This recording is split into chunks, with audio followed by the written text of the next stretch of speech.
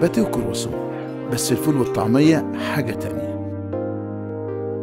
قهوة في وسط البلد بمليون كوباية لاتيه. لعبت في أحسن ملاعب الدنيا بس بالنسبة لي مفيش أحلى من استاد القاهرة